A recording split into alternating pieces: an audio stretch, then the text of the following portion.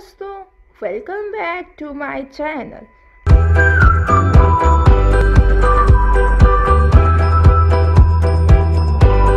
ऐसा टॉपिक के बारे में बात करेंगे, वो है Ramzan weight lose diet plan and सैरी सैरी हमारे लिए बेस्ट मील है, जिसमें अगर हम ओवर ईट करें या फिर हम ना जाने ना जानकर कोई चीज़ खाएँ, इससे हमारा वेट लूज़ नहीं होगा और हमें बहुत से बीमारियाँ होंगी।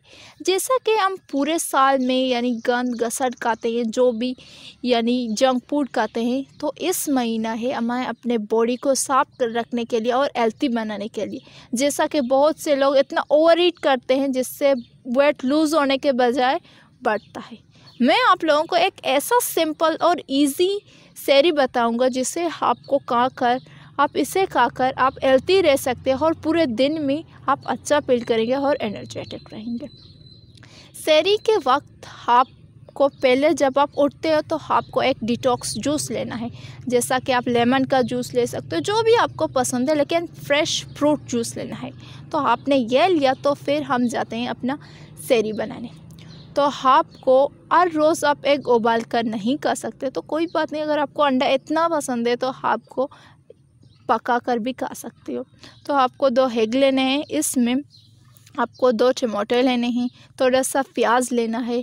तो आपको इन्हें थोड़ा सा कढ़ाई में थोड़ा सा ऑयल डालना ऑयल डालने के बाद आपको प्याज और वो सब मसाले, वो सब चीज़ें डालने हैं। ये सब चीज़ों को डालने के बाद तीन मिनट में पकाना है, फिर अंडा डालना है। तो तो आपका अंडा तैयार हो गया, फिर आप जाते हैं रोटी की तरफ़।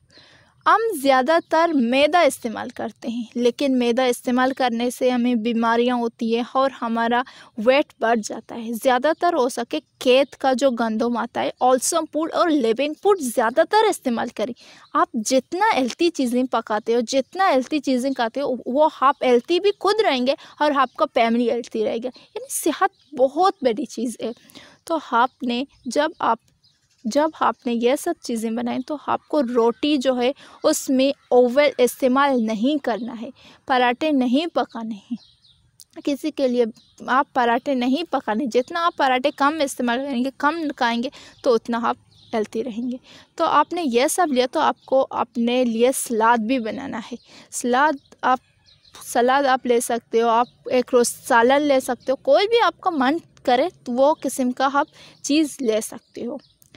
फिर आपको अगर चाय इतना पसंद है, चाय के बिना आपका सर दर्द करता है, चाय के बिना आप रह नहीं सकते तो आपको थोड़ा सा एक कप चाय लेना है, उसमें थोड़ा सा चीनी डालकर कर कर पीना है। लेकिन याद रखें, जितना आप कम चीनी इस्तेमाल करेंगे, उतना आपके लिए अच्छा होगा।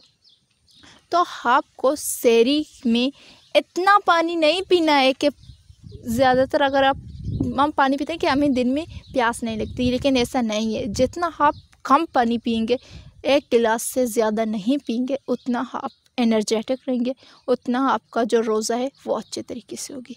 अल्हम्दुलिल्लाह, मेरा रोज़ा है वो अच्छे तरीके से जा रहा है। अगर आप लोग यह सैरी को फॉलो करें उससे चेंज चेंज करके एक दिन सब्ज़ी ज़्यादातर इस्तेमाल करेंगे तो आपका जो रोज़ा है वो अच्छे तरीके से होगी और आपका जो हेल्थ वो अच्छे तरीके से होगी। अगर आप हेल्थी रहना चाहते हो या फिर इस रमज़ान के महीने में फ़ायदा उठाना चाहते हो तो हाफ़ ऐसा सेरी लें जो आपको हेल्थी रखे। आई होप ये वीडियो आप लोगों के लिए हेल्पफुल रहा होगा।